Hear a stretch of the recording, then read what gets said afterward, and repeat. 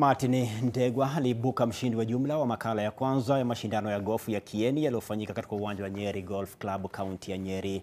Ndegwa alionyesha umahiri wake na alishinda kwa kuandikisha alama zikiwa ni 37. Wakati huo huo, Paul Kimani alishinda upande wa wanaume, naye Josephine Wambui alitamba kwa kinadada. Wanagofu 134 kutoka kaunti mbalimbali walishiriki.